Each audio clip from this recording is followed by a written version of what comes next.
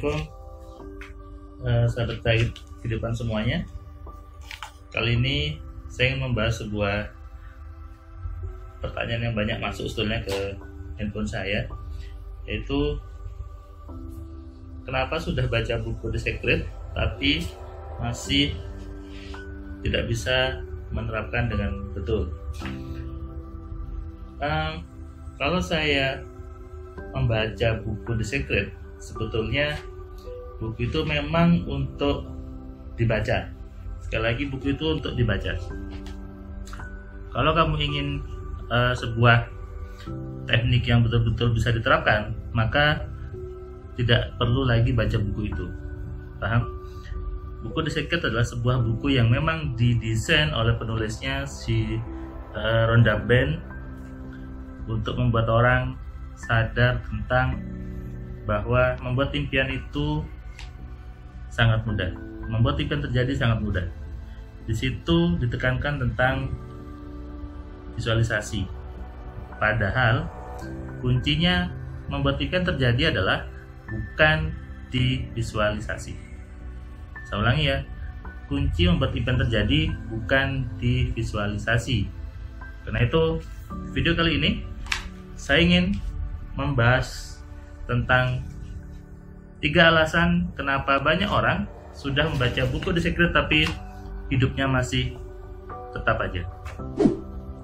Yang belum subscribe, klik subscribe, kemudian kamu bisa share ya ke banyak orang tentang video ini. Saya akan bahas satu persatu tiga alasan tadi. Sekarang coba deh, kalau kamu baca sebuah buku, apalagi buku itu baru, baru kamu baca ilmunya baru kemudian kamu baca baca di toko buku kamu baca bukunya kemudian kamu resapi. Pasti yang pertama adalah kamu muncul sebuah kebingungan mau bertanya ke siapa? Itu kan? Sama juga dengan ketika kamu membaca buku The Secret. Pasti muncul sebuah pertanyaan sebuah kebingungan yang melawan semua pemahaman kamu sebelumnya. Dan ketika itu tidak kamu tanyakan, tidak mendapatkan sebuah jawaban, maka kamu tidak akan bisa menerapkan semua teknik yang ada di buku The Secret tersebut. Dan itu wajar. Kenapa? Karena kalau kamu mau kontak si penulisnya, itu biasanya mungkin juga nggak dijawab ataupun kamu nggak tahu ke mana kontaknya. Itu ya. Itu alasan pertama. Jadi bukan salah bukunya, bukan salah si penulisnya, tapi karena memang Anda yang membaca itu butuh sebuah bimbingan yang lebih lengkap lagi. Alasan yang kedua adalah mindset kamu dengan mindsetnya si Ronda itu tidak sama. Oke, saya ulangi ya, mindset kamu dengan mindsetnya si Ronda yang buat The Secret itu tidak sama. Artinya apa? Kamu membaca sebuah tulisan hasil dari pemikirannya si Ronda Ben. Sementara kamu membaca dengan persepsi kamu sendiri, sehingga tidak bertemu di situ. Akhirnya kamu menganggap buku itu hanya sebatas buku yang sudah kamu beli lalu kamu simpan, selesai itu yang membuat tidak ketemu antara pemikirannya di buku The Secret dengan pemikiran kamu di sini.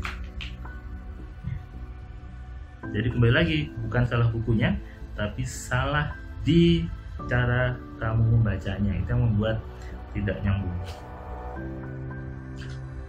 Yang ketiga adalah kamu tidak mau menerima kebenaran dari buku tersebut.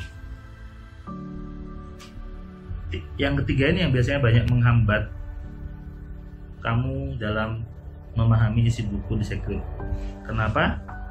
Karena kamu menganggap bahwa si Ronda itu bukan seorang pemuka agama, si Ronda itu bukan seorang ustadz atau seorang ulama atau apalah namanya, sehingga di pikiran kamu muncul penolakan, muncul reject, sehingga kamu tidak mau menerima ilmu itu sepenuhnya dan itu yang sering saya temui di kelas reguler di Platinum ataupun di Privata MC banyak orang sudah punya buku The Secretnya dia sudah katanya sudah baca tapi menganggap bahwa dia susah untuk mempraktekkan. Kemudian dia menganggap hidupnya tetap-tetap aja seperti itu.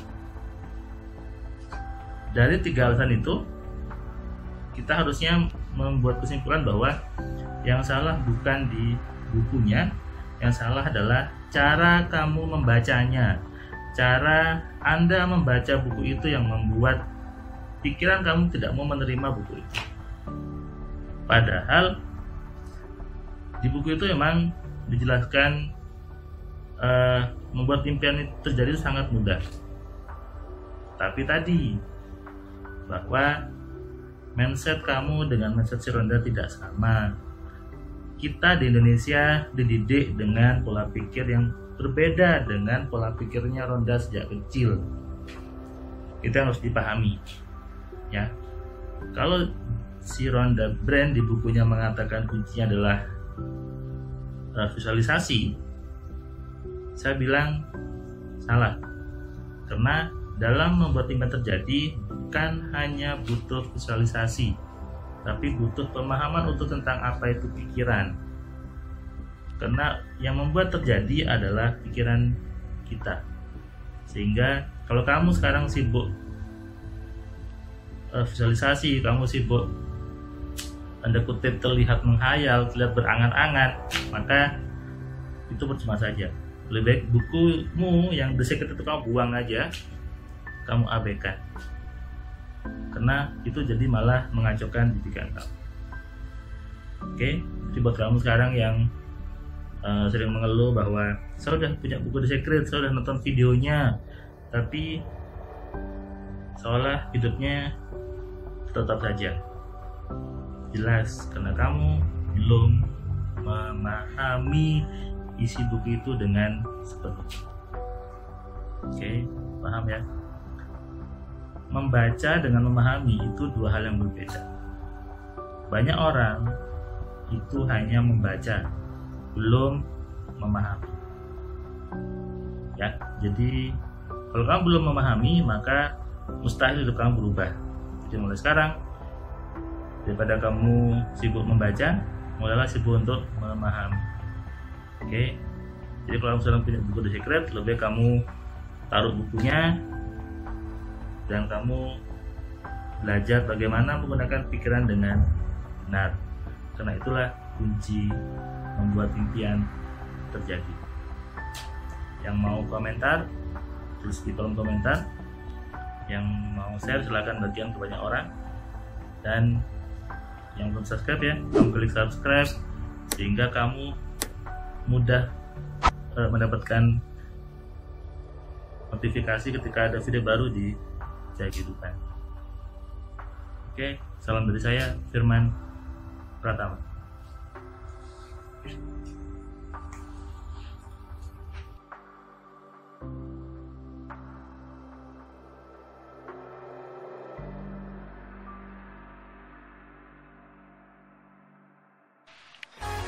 Halo semuanya, terima kasih buat kalian yang sudah nonton video saya dari awal sampai yang video terakhir saya ucapkan terima kasih. Dan kamu yang belum subscribe kamu subscribe ya. Dan kamu bisa share ke banyak orang lainnya. Dan ingat nyalakan loncengnya. Supaya apa? Kamu dapat notifikasi ketika ada video baru di Cahaya Kehidupan.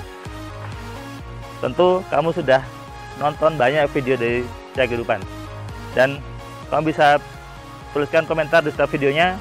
Kamu tuliskan komentarnya kamu berikan bukti bahwa di video ini di channel ini membuat hidup kamu berubah. Sehingga kalau kamu ingin hidup kamu berubah atau kamu ingin teman kamu hidupnya berubah, maka kamu sarankan mereka untuk nonton di Cahaya Kehidupan.